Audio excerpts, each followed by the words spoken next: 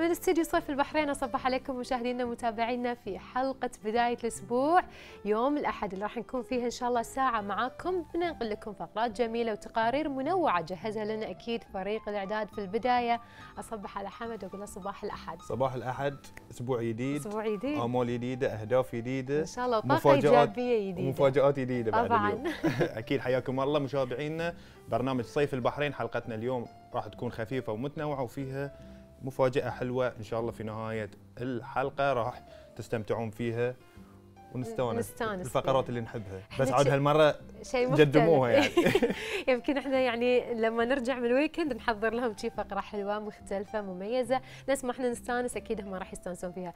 حمد إحنا تعودنا ان دائما شي عندنا فقرات خفيف غريب عجيب. غريب عجيب. فاليوم راح ننتقل حق شيء غريب فعلا وعجيب مشاهدينا خلونا ننتقل لفقرتنا الأسبوعية غريب عجيب ونشوف المكان الغريب اللي بيعرفونا عليه فريق الأعداد.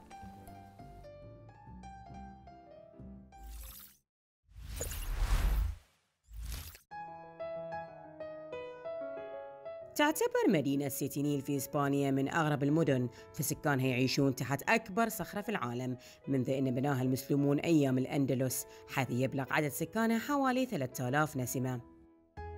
فسكان تلك المنطقة ينعمون بالبرودة صيفا وبالدفء شتاء وذلك لأن سقوف بيوتهم هي الصخرة ذاتها والتي تمنع اختراق الحرارة أو البرودة حيث يعملون سنويا على تجديد طلاء البيوت باللون الأبيض الذي يعكس أشعة الشمس بهدف المحافظة على درجة برودتها. كما أن البعض من هذه البيوت لها أسطح صخرية فوقها بساتين الزيتون. تتمتع المدينة بالكثير من المناظر الخلابة المتمثلة في التصميمات المعمارية التي شيدها السكان بين الممرات الجبلية وعلى الشريط الممتد على طول ساحل نهر تريغو. تتميز المدينة بالمعالم السياحية البارزة والممرات الجبلية الساحرة إلا أن أغلبية السائحين يتوافدون إليها للتمتع بمشاهدة البيوت التي تعانق الصخور. من كل جانب فضلا عن انتشار المنحوتات الرومانية القديمة والجميلة والقلعة العربية وأطلال إسنييبو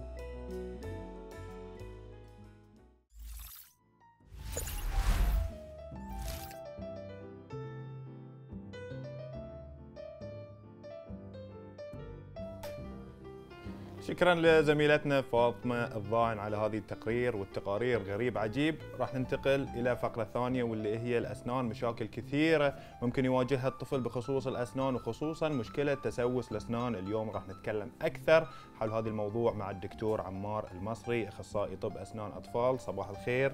صباح النور. يا هلا ويا مرحبا فيك. يا أهلا دكتور. وسهلا بحضرتكم يا أهلا. الله يخليك. دكتور يعني اليوم بنتكلم يمكن عن مشاكل الأسنان بالنسبة للأطفال لكن في البداية خلينا نتكلم عن أكثر المشاكل اللي يعانون منها الأطفال في أكيد مجال الأسنان.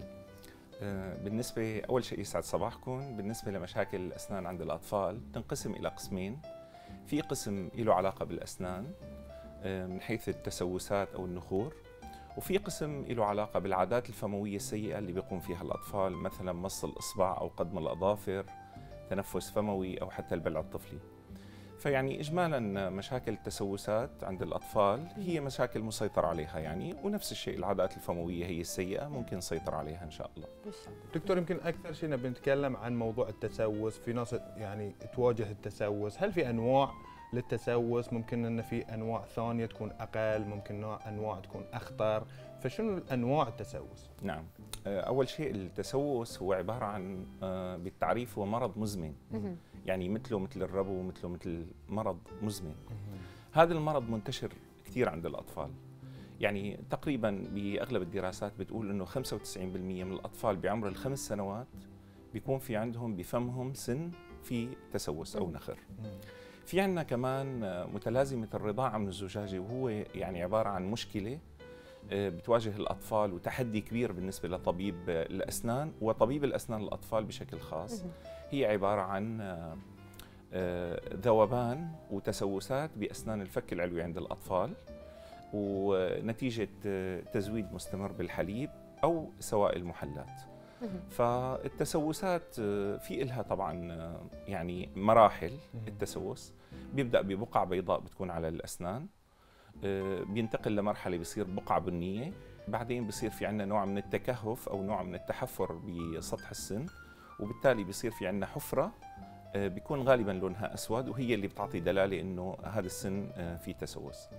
هي الحفرة بيكون لها عمق مختلف. ممكن تكون محصورة بطبقة الميناء فبتكون غير مؤلمة عند الطفل ما بيشكي الطفل من أي شيء. ممكن آه، تستمر يستمر نهج التسوس باتجاه آه، طبقات أعمق عند السن بتوصل لطبقة العاج اللي هي طبقة حساسة فبصير في عنده حساسية الطفل. آه، وممكن تنتقل لطبقة أعمق اللي هي عصب السن أو لب السن. نعم. فبصير في عندنا مشكلة أكبر وبيحتاج لإجراء أكبر يعني. يعني دكتور خلينا نتكلم اليوم شلون الأم ممكن تلاحظ الأعراض اللي تطلع على الطفل لما يكون في تسوس الأسنان؟ هل في أعراض راح تكون بارزة بشكل واضح والأم تقدر تكتشفها أو في أعراض ممكن طبيب الأسنان بس يكتشفها الأم ما تقدر إنها تركز عليها؟ نعم. آه، حقيقة يعني مشاكل التسوسات عند الأطفال بتختلف باختلاف آه، نوع التسوس. إذا كان التسوس بالمراحل البدائية آه، الأهل ما حيكتشفوا هذا الموضوع وأيضا الطفل ما بيعاني من أي شيء. لمن التسوس آه، أو النخر عند الأطفال بيزداد وبيوصل لمرحلة عميقة فهون الطفل أول شيء بيصير عنده الأكل مؤلم. وهون هذه يعني عرض مهم بالنسبة للأهل إنه بيكتشفوا إنه طفلهم عنده تسوس أو نخر أو في داعي إنه نعمل مراجعة لطبيب الأسنان. ف آه، يعني آه، موضوع الأكل هو هو العامل الأهم باكتشاف التسوس عند الأطفال. حلو. نعم. يعني فعلا نفس ما قال الدكتور إنه يختلف طبعا يعني آه، تختلف الأعراض بالنسبة لطفل أو آخر وعشان هذه الشغلة يمكن الأم ساعات ما تلاحظ إنه في أعراض للتسوس نعم. لكن دكتور شلون ممكن الأم تعالج هذا التسوس في البيت يعني قبل لا تلجأ حق الطبيب يعني آه، طالما الطفل بدأ بالشكوى فمعناها إنه التسوس أو النخر وصل مم. لمرحلة يعني نوعا ما عميقة وبالتالي آه، غالبا بهي المرحلة بيصير في تجمع للفضلات. الطعام نعم. وتجمع للطعام ضمن هي الحفر اللي موجودة في أسنان الأطفال. آه، قيام الأم بتنظيف تفريش أسنان الطفل. وإزالة هي الفضلات من بين الأسنان أو من الحفر هذا بيعطي شعور بالراحة عند الطفل. آه، في بعض الحالات يعني الموضوع ما بي غير كافي هذا الإجراء. ممكن نضطر لبعض المسكنات. ريثما نقدر نحجز موعد عند الطبيب, الطبيب يعني. فيعني الأم قادرة إنه في البداية تساعد الطفل يعني. أو تقلل من نعم. الأعراض. نعم. صح. دكتور يمكن تكلمت أنت أن التسوس ممكن إنه يكون مرض مزمن. آه خلينا نتكلم عن الأسباب أكثر شيء. يعني ممكن أن الطفل حتى لو الطفل آه بعض الأطفال يكون يعني محافظين على أسنانهم بعد يصيدهم التسوس ويكون موجود. فخلينا نتكلم عن الأسباب أكثر شيء. بالنسبة لأسباب التسوسات أو النخور عند الأسنان يعني أسنان الأطفال العامل الأهم هو استهلاك السكاكر واللي هو بتنامي مع ازدياد يعني هيك تحضر المجتمعات يعني. آه للأسف كان آه تحضر المجتمعات عم بيرافقوا ازدياد أكثر باستهلاك السكاكر. يعني من زمان ما كانوا يستهلكوا هالكمية من السكاكر. الحلويات. الحلويات أو السكاكر أو الشوكليت يعني هو عبارة عن مغذي لموضوع النخر. في بعض الجراثيم اللي بتكون موجودة ضمن الفم بتستغل هي السكاكر أو الحلويات أو الشوكليت وبتؤدي لافراز بعض المنتجات اللي آه، بت بتخلينا نقول بتعمل نقص في تمعدن آه، الطبقة السطحية من السن وبالتالي بيبدأ نهج النخر. الأمر الآخر هو موضوع آه، تفريش الأسنان وقلة العناية يعني. يعني قلة العناية كمان بيخفف من دور السكاكر آه، قلة العناية بيساهم بتشكل التسوسات والعناية بالفم بتقلل من دور السكاكر. فيعني موضوع الأسباب يعني بينحصر بهدول الاجراءين الإجراء الآخر هو آه، الإجراءات الوقائية بتخفف كثير كمان من تسوسات الأسنان. في عندنا بعض الإجراءات الوقائية ممكن يقوم فيها سواء الطبيب العام أو طبيب أخصائي أسنان أطفال. بتقلل من آه، إمكانية التسوسات نعم. عند الأطفال. نعم. يعني دكتور عادة يصاحب يمكن آلام آه، تسوس آلام صداع أو يمكن آلام هني عند الضرس عند اللثة. فشلون ممكن الأم آه، تحاول أن تخفف هذه الآلام بالنسبة حق الطفل قبل يمكن ما تلجأ للطبيب؟ يعني نعم. إحنا نعرف أنه ممكن يكون صداع ممكن يكون آلام قوية والطفل ما يتحملها. هلا بداية إذا كان العبارة عن يعني إنه التسوس خلينا نقول في بدايته هو. عبارة عن تنظيف ال- ال- ال- التسوس أو نعم. تنظيف الحفر هي التسوسات لما بيزداد المرحلة لازم هون يصير المسكن يعني لازم ينعطى للطفل. في بعض الحالات بصير في تورمات وانتفاخات ب بالوجه الوجه هون ساعتها لازم نلجأ للمضاد يعني وغالبا هذا لازم يكون ب- بوصف الطبيب يعني ما يكون استخدام عشوائي من قبل الأهل مشان يعني الطفل يحقق الفائدة المرجوة من المضاد.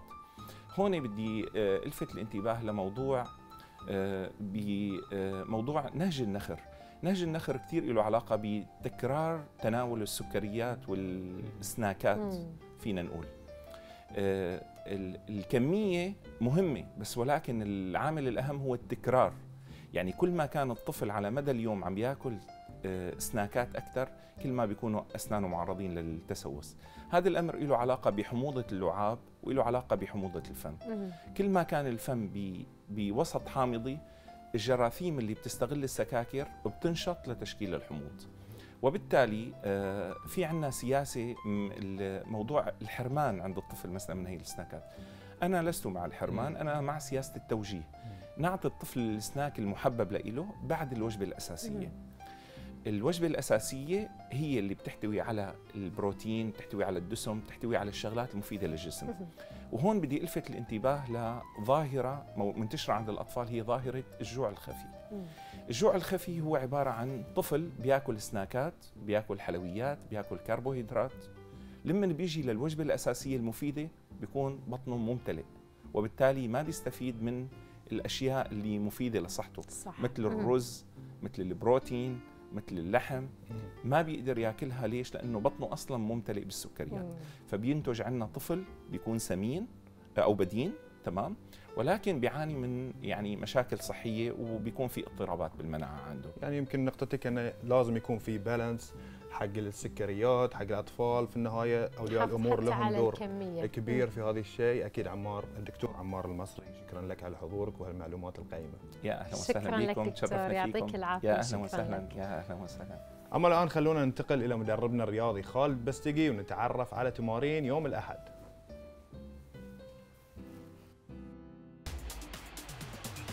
صبحكم الله بالخير.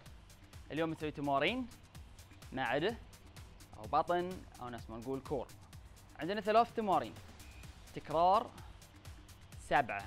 تسوي تكرار سبعة من كل تمرين ورا بعض من غير ما تريح. حلو؟ من تخلص سبعة في تمرين رابع بتيود في position أو في وضعية حق سبع لعشر ثواني. حلو؟ من نخلص هاي تعتبر جولة. نحاول نسوي خمس لثمان جولات. التمارين ذي تقدر تسويها في البيت تسويها في الحديقة تسويها برا ما بتحتاج أي equipment أي معدات فقط وزن الجسم. نبتدي؟ يلا ويا بعض. التمرين الأولي يسمونه crunches تحط يدك على الجوانب. مو ورا يا جماعة مو ورا مو ورا مو ورا. أربع ولا خمس مرات؟ قلت okay مو ورا هاي خمس مرات. ليش؟ لأن تحط راسك ورا أنت لين تتعب بدون ما تحس. لا شعورين بتبدي شو تسوي؟ تعور رقبتك. حط يدك هني. ودائما ركز إنك أنت ترفع كتفك عن الأرض. صدرك بيتحرك اتجاه قفصك الصدري. حلو؟ نروح سبعة. واحد اثنين ثلاث أربع خمس ست سبع. على طول نفس الحركة. اللهم بتخلي الإلبو يجيسون فخذينك الإلبوين فتروح. واحد اثنين ثلاث أربع خمس ست سبع. هاي الحركة الثانية التمرين الثاني. التمرين الثالث بتروح لي سبعة. واحد اثنين ثلاث أربع خمس ست سبع. لاحظ كتفي يتم فوق. حلو؟ شو أسوي أنا؟ قاعد أحول بيديني اجيس الأرض لعند الكعبين. سبع. من أخلص؟ ايود هني. سبع ثواني أو عشر ثواني. إذا ما تقدر كذي حط ريل واحدة على الأرض. بتحس بالحراقه هني. أوكي؟ هاي جولة كاملة. بتريح لك. 30 ثانية أو دقيقة. أنا أنصح الراحة تكون قليلة. وتدش الجولة الثانية والثالثة. تقدر تخلص ثمان جولات ممتاز. ما تقدر روح أربع لخمس. حلو؟ يعطيكم العافية.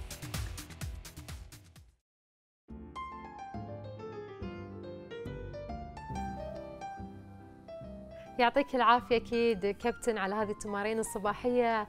يعني في هذه الفقرة مشاهدينا راح نتعرف على فتاة يعني بحرينية رغم صغر سنها أحرزت مراكز عالمية في بطولات رياضية.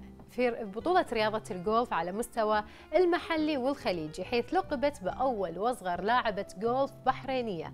خلونا نتعرف أكثر عن ضيفتنا في الاستديو حبيبة ماهر. صبحك الله بالخير. يا هلا ومرحبا فيك حبيبة. بسم الله الرحمن الرحيم. آه، السلام عليكم. عليكم شكرا السلام. أنكم استضفتوني اليوم. شرف. آم، أنا اسمي حبيبة مار عمري 16 سنة. آه، لقبت بأول بحرينية لاعبة ما جولف شاء الله. بالعمر آه، عشر سنوات. فأنا بديت اللعبة كان عمري سبع سنوات دشيت مع أبوي رحنا جربنا اللعبة شفت إنه وايد أحبها فقام أبوي آه خلاني اني أروح النادي. وتتعلمين وتتشجعين أكثر إي. حلو. وبعدين دشيت آم، المنتخب الرياضي للجولف وما كان في فريق نسائي كلش يعني ما كان في ما كان البحرين معروفة أصلا عندها فريق نسائي الجولف حق الفريق. النسائي. فأول ما دشيت ح- نظموا فريق آه، نسائي للجولف وبدينا نشارك على مستوى الخليج. ما شاء الله ما شاء ما الله شاء الله. عليك. صراحة في البداية يعني إحنا فخورين فيك طبعا. آه على إنجازاتك اللي سويتيها وبما أنك أنت تلعبين لعبة أصلا ما في آه يعني الرياضة هذه قليل اللي يلعبونها في مو البحرين. مو منتشره البحرين. مم. وغير وغير إنها هي رجالية وايد أكثر. اي صح. فوجودك فيها صراحة هاي شرف وايد حلو حلو ان نشوفه وصغر سنك بعد عمرك 16 سنة. كلمين عن هذه الصدفة اللي انت رحتي مع الوالد وحبيتي هاي اللعبة. شنو كان شعورك في هالفترة يعني؟ شنو حسيتي لما طقيتي أول لعبة للجولف حسيت يعني شعور غريب لأن أول شيء جربت السلة جربت القدم جربت كذا شيء بس الجولف لها إحساس ثاني. يعني تركيز وهدوء ولعبة وايد راقية. فأنا حبيتها وايد يعني. وتعلقتي في هذه الرياضة وطورتي روحك فيها. حبيبة ما شاء الله لك مشاركات سواء كانت في البحرين ولا خارج البحرين؟ كلمينا عن هذه المشاركات شنو تعلمتي منها؟ أي آه، شاركنا في بطولات الخليج ثلاثتهم مرتين في البحرين ومرة في. عمان. مرة جبنا المركز الثالث ومرة أنا جبت مركز الرابع فردي. آه شعور جديد يعني شيء جديد. ما قد توقعت أن أنا بقوم بشارك على مستوى الخليج. يعني بشارك مع بنات ثاني آه ثانيين من دول ثانية. وكان. آه التجربة وايد حلوة. وهذه الصور اللي تظهر على الشاشة هاي من مشاركاتك؟ أي. ما شاء ما شاء الله هذه في وين كانت هاي المشاركة؟ في عمان. في عمان. أي. وأكيد التقيتوا مع فرق ثانية في مجال الجولف أي صح؟ أي. هاي في البحرين. أم هاي ثاني مرة لعبنا في البحرين. حلو. ما شاء الله يعني لك مشاركات جميلة وإحنا نفتخر فيك. وهذه نفتخر الصور. فيك. هاي أول صراحة. مرة. هذه أول مرة. أي لقبت بأصغر لعبة في هاي البطولة. يمكن حبيبه خلينا ننتقل إلى موضوع ثاني اللي هو أنت اختاروك كأصغر مدربه في مدينة الشباب. أي. ممكن ان هذا الشيء يعني شيء غريب إن واحدة عمرها 16 تصير مدربه فكلميني عن هاي التجربة. كان عمري 14 لما شاركت 14 بعد. أم آه، أعطتني مؤسسة BYI الفرصة إني أدرب في مدينة شباب. كان عندي وايد أفكار وسويت وايد proposals مم. وأعطوني الفرصة إني أدرب في مدينة شباب للي كان عمرهم 9 ل 12 سنة دربت آه، دربت course لقب recyclable robot معلم المشاركين شلون يسوون روبوتات من أشياء اللي إحنا يعني ما نستخدمها في البيت. نفس علب كلينكس علب ماي مم. أشياء هاللون يعني المواد اللي تكون في البيت نستخدمها. ونسوي شغلات ثانية فيها إي حلو إي. حبيبة يعني ما شاء الله آه، قمتي بتقديم خطاب في منتدى آه، جوجل الشرقي يعني إيه. الأوسط يمكن آه، في دبي في 2019 صح. كلمينا عن هذا الخطاب وشنو كان يشمل وشلون شفتي هذه المشاركة أيضا في دبي آه، في دبي رحت بواسطة GDG منامة فكان قبلها رحت أنا هاكاثون تونس ولقبت بأصغر آه، مشاركة فرحت أنا دبي عشان أقول لقب أو آه، خطاب sorry. عن youth in tech الشباب. في التكنولوجيا. هاي كان اسم آه، الفقرة فتكلمت عن تجربتي أنا كواحدة صغيرة في مجال اللي كله فيها اللي فوق 18 سنة. وتكلمت عن كذا شيء عن شلون نقدر ندخل الجيل الجاي أو جيلي أنا ندخلهم في هاي المجال مجال ال AI. الذكاء الاصطناعي ومجال البرمجة حلو. ايمان هي مو بس في دبي دبي وتونس ما شاء الله في كل إيه، مكان. تفرفر ويا الجولف صح. ورايحه مكان ما شاء الله. وهذه الصورة صح اللي قاعد تظهر على الشاشة هم في مشاركتك يمكن في دبي صح؟ لا هاي في تونس. هاي في تونس ما إيه. شاء الله. يعني كلمينا عن اللي هو. هاكاثون تونس. okay hackathon. تونس كان شيء صدفة. إيه. كان وايد صعب إني أدش إني بس أشارك فيها. لأن أول شيء في البحرين. تتأهل لازم ولا؟ اي كان لازم مم. نتأهل. فأعطتني جي من نعمل ابلكيشن وكل شيء وكان. لازم أسوي كذا امتحان كذا project كذا شيء. وعقبها ان أتأهلت ان أروح تونس. ورحت تونس وشاركت في مجال الأفرقة أو الفرق مع بحريني أخوي سيد علي واستاذ محمد بوعلاي شارك شار- شاركنا كفرقة. ووصلنا نص النهائي بس الله ما كتب لنا نفوز. فكان تجربة وايد حلوة. أهم شيء التجربة ويعني إيه. مشا... المشاركة بحد ذاتها هي تعتبر فوز بالنسبة لكم. حبيبة يعني ما شاء الله أنت نفس ما قلتي في البداية قلتي ما كان في منتخب للبنات لرياضة الجولف وأنتم تعتبرون أول منتخب. يعني هذه رياضة الجولف يمكن تعتبر رياضة غير منتشرة في في مملكة البحرين. شلون اليوم تشوفين رياضة الجولف البحرين من بعد ما تم تأسيس المنتخب من بعد ما شاركتوا أيضا في في يعني بطولات خارج مملكة البحرين؟ آه لما أول شيء بديت لما أول شيء دشيت المنتخب آم آه سعادة الشيخ الحياة. أسست نفس ال شو يسمونه scouting إنه يابوا بنات من أنحاء الديرة يعني من كل المدارس نفس هالنوع. معسكر خاص إي. معسكر وشافوا من اللي يقدر من اللي يحب اللعبة من اللي يبي يطور يطور آه من نفسه وقدراته صح. في رياضة الجولف. مهم. فبعد هاي شفت شفت شفنا إن وايد ناس بغوا يدشون المنتخب بس الحين صرنا إحنا بس ثلاث بنات في المنتخب. مم. ونبي ناس أكثر تبون تستقطبون. أكثر. هل إيه. تشوفين في إقبال؟ هل في بنات حابين يشاركون في هذه الرياضة؟ هل تدربون البنات اللي يمكن يعرفون يلعبونها بس ما يعرفون القوانين؟ صح.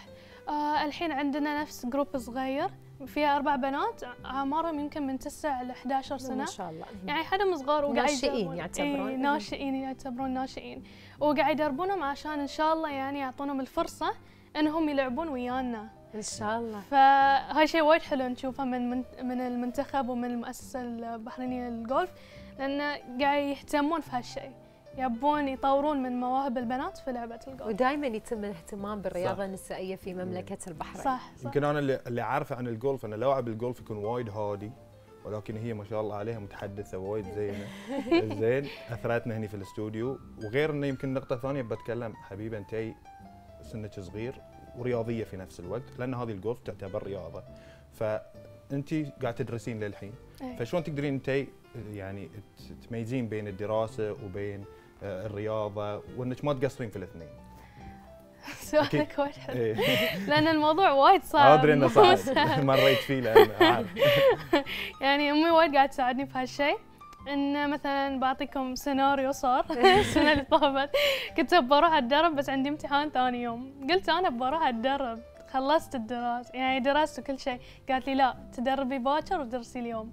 okay. لأن بعد يعني الرياضة مهمة. لكن أكيد ال- بس الدراسه أهم. الوالدة قاعدة ت- متابعتك وتعرف موجودة إيه، خلف تعرف الكواليس. إنه- انه يعني الدراسة هي رقم واحد في كل إيه. شيء ولكن هوايتك ما بيقصرون هم بيساعدونك ويعطونك كل الدعم صح. وجوده هني وقفتها طول البرنامج هاي بحد ذاتها دعم, دعم, أكيد اي إيه. يعني حبيبة يمكن نفس ما قلتي قلتي الموضوع صعب بالنسبة حق إن أنت يمكن تدرسين وعندك دراسة وبعد عندك رياضة وهواي وأنت أساسا يعني عنصر مهم في المنتخب إيه. لكن هل أنت تحاولين بينك وبين نفسك تطورين من هذه آه، يعني الرياضة عندك هل آه، تحبين تشوفين يمكن المباريات اللي تكون موجودة وتاخذين هاي التكنيك اللي عندهم بالنسبة حق اللاعبين آه، تحضرين يمكن المسابقات اللي تكون خارج البحرين عشان تتعلمين وتستفيدين؟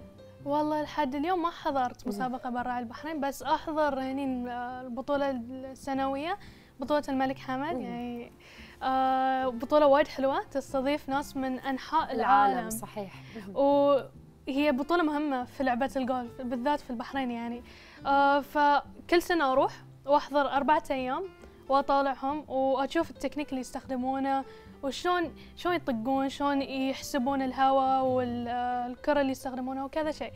فيعني وايد حلوة هاي البطولة ويعني وايد أحبها ووايد أحب أشارك بس إن شاء الله في المستقبل يكون في فئة بنات حق البنات. في هالبطولة إن عشان شاء أنا الله. أقدر اشارك إن شاء الله أكيد راح تكونين إحدى المشاركات في هذه البطولة وترفعين راس راسنا يعني. ونفس ما انت الحين ما شاء. الله إحنا فخورين فيك بهذه التجربة الجميلة اللي قدمتيها أكيد كل الشكر لك حبيبة ماهر إن شاء الله نتمنى انك تشرفينا مرة ثانية هنا مع ميداليات ونبارك لك بعد إن شاء الله كل الشكر. لك على حضورك شكرا لك حبيبة يعطيك العافية مشاهدينا فاصل سريع وراجعين لكم مع آخر محطة لنا لليوم.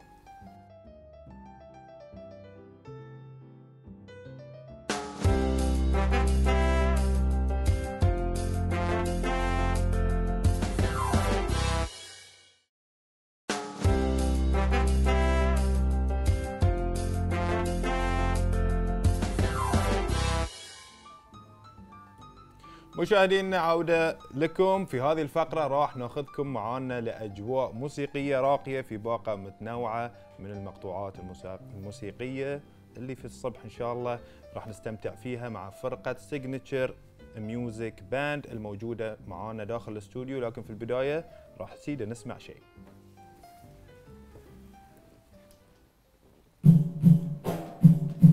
يا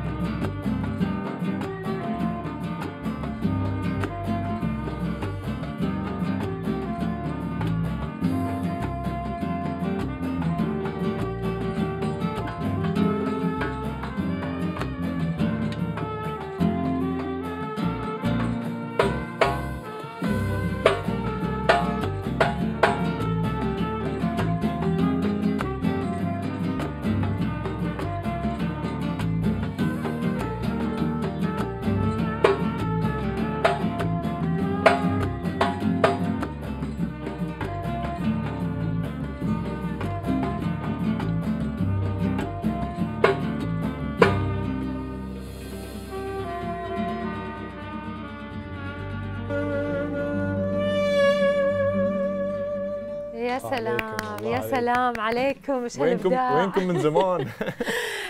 صراحة يعني إحنا وايد مستمتعين حتى الكنترول مستمتع يعني وياكم.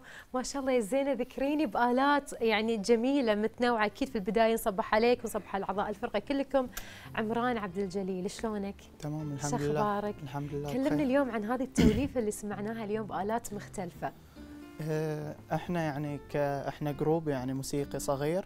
آه، مسوين شيء يعني ما استوى يعني مسوين فرقة صغيرة ممكسة من اللي هو آلات شرقية وآلات غربية. صح.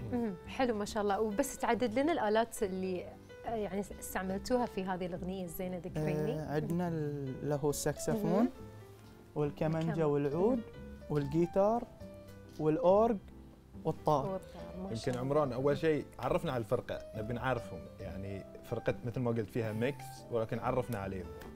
آه عندك في البداية سيد حسن فنان مشهور. طبعا, طبعا التقيت وياه في فرنسا في العاصمة الفرنسية. آه وعزفت وياه في سنة 2018 ما شاء الله. يعني كان لي شرف يعني. من بعده خالد كان بعد مغني ويانا في نفس الموضوع. أنا سمعة من ساعه يدندن إيه، الأغاني إيه، أنا يدندن. رايحة أغني وياه. آه وعندنا سعد صار وياي في group في الأوركسترا الطلابية تاب- تابعة لوزارة التربية والتعليم. جميل. ما شاء الله أوه. موهوب مياود في النص. إيه. إيه مسوي لهم الرذم وعندنا عبد الرحمن جناحي طبعا فنان وصار ويانا بعد في فرنسا سنة 2018 ما شاء الله. وسعد عبد الله غني عن التعريف. آه إنسان إيقاعي يعني جميل. شغلته الإيقاع إيه. إيه لاحظنا عليهم إيه، ما إيه. شاء الله هو عشان. بس عشان بس لا لا يفجر إيه. الاستوديو شوي شوي يعطيك شوي إيه. يعطينا وشوي ما إيه. شاء الله عليكم يعني آه جدا يعني هذه التوليفه اللي سمعناها اليوم حلوة هل غنيتوا في أماكن في مسارح يمكن في فعاليات كثيرة من آه، قبل الصراحة ما يعني. ما ما حصلنا فرصة حق نطلع أو شيء. يعني توها متكونة الفرقة يعني ما. صار لها شيء توكم بادين إيه، وهذه تونا مبادين. التوليفة جميلة يمكن عمران أنت تقريبا يعني تسوي كنترول وتدير ال- الفرقة. كلمني عن يمكن الآلة اللي أنت يعني تحبها هي الترامبت ليش أنت وايد تعلقت فيها؟ وكلمني شلون التوليفة صارت مع باقي الموسيقى وباقي الزملاء وياك. هي هو الموضوع شوي صعب بيكون بالنسبة للآلات اللي هم الشرقية. فلازم تختار شيء يعني مناسب يعني نفس النغمات. عندكم النغمات الشرقية يعني ما تضبط على الآلات الغربية. يعني كون الترامبت ما ما ما يطلع نغمات شرقية يعني.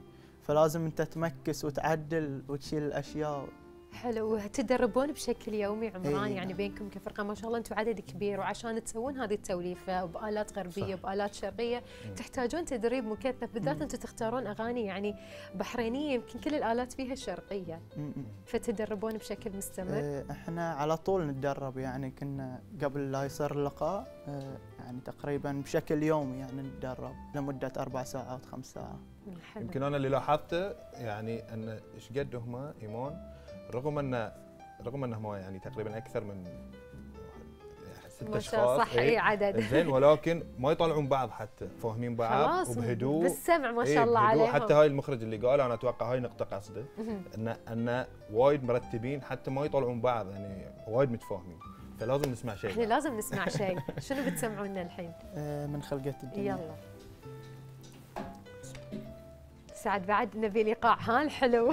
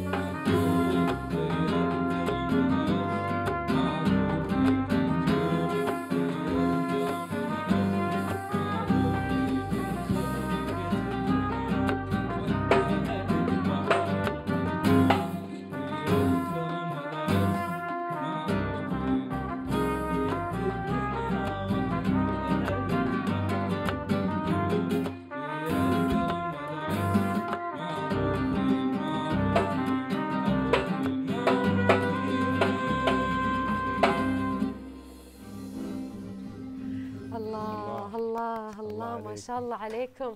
أنا صراحة ما ودي أسألكم ودي بس طول الوقت بس تغنون. بعد أغنية ثانية؟ بعد أغنية. لا أكيد عمران ودنا نسألك أكثر. يعني ما شاء الله عليك أنت قاعد يمكن تعزف على آلات شوية نوعا ما خلينا نقول صعبة. وايد صعبة. صح يعني. و- من أصعب ترى الآلات الموجودة الموجودة يعني. اليوم ويانا. شلون طورت موهبتك؟ شلون حاولت إنك تطور نفسك في هذه الآلة؟ آه، أول بداياتي كانت على اللي هي آلة الترامبت. بديت بمرحلة صعبة. أمم. صج بس وقفت وتحديت نفسي وقلت أنا لازم أطلع ما دام الشي حاب بالشي يعني فلازم أبدع فيه. وبس قعدت شوي شوي في البيت كانت عندي آلة قديمة بديت عليها لين ما الحمد لله اشتريت لي آلة جديدة و... وآلة يعني professional شوي. وطورت من روحي شوي شوي. وتعلمت إيه. عليها جميل. عمران يمكن اللي لفاتني السولو مال الجيتار في البداية أو العود سوري. إيه، شيء وايد حلو. آه، يمكن يمكن هو مايك مو مو شغال عنده ولكن كلمني انت بالنيابة عنه شلون شت- شلون تحس؟ آه لازم كأغنية يعني اللي هو لازم يطلع الفن العريق لبلدنا إحنا يعني صح. لوطننا. فلازم الفن البحريني إي لازم يعطي طعم في البداية عشان يمهد لنا كامل فاحنا اللي علينا نفرش له نفرش له ونبرز له وهو بس يروح. ما شاء يعني. الله عليكم. ما شاء الله عليك. وأكيد أنتم تختارون الأغاني بعناية وأكيد كلكم تتفقون شنو الآلات اللي راح تدخلونها. أنا ودي أسمع بعد شيء الصراحة. شنو طماعين بتسوون؟ إحنا يعني طماعين. أنتم فنانين وإحنا إيه. مستمتعين. وياكم. شنو راح تسمعونا؟ راح نسمعكم ثلاث دقات إن شاء. الله. يلا.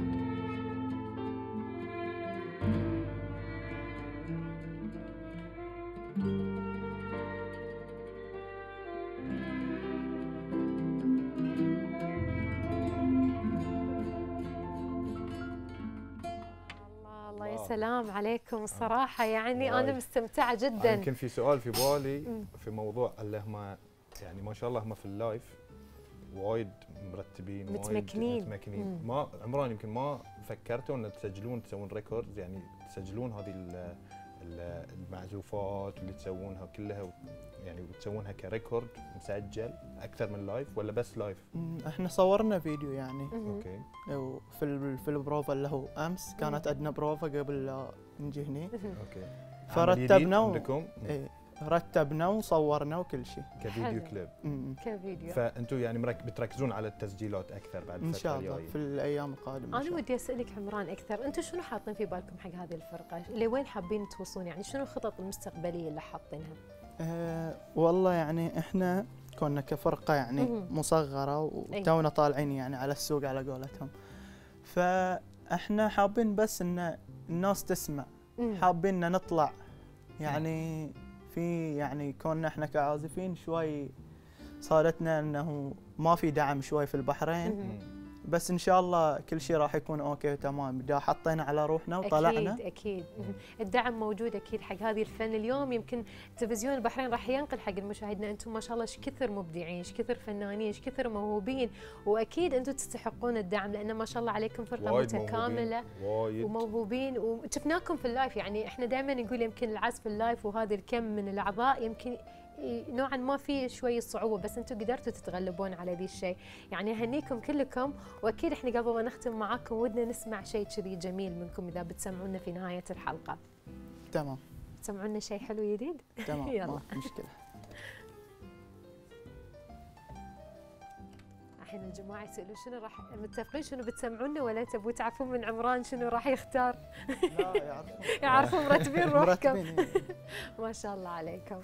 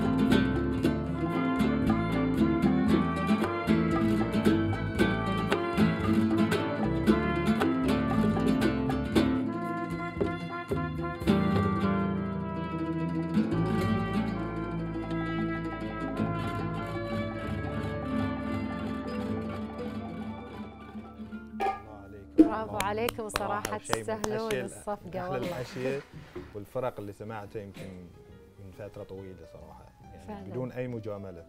شيء كلكم. مبدعين وأكيد نتمنى لكم كل التوفيق. بعد عندكم شيء مجهزينه ولا؟ إيه. إحنا ما نقول لا. ما نقول إحنا قاعدين وياكم. حتى ال control مستمتعين. إيه. شنو تبون تسمعون control ولا على ذوقهم؟ يلا على اللي مجهزينه. شنو بعد بتسمعونا؟ آه، إحنا تعبناكم كل شوي بس والله مستمتعين. اي اي مستانسين إحنا وياكم. آه، راح نرتب لكم أغنية light من light music حق ال relax يعني. يلا. يلا.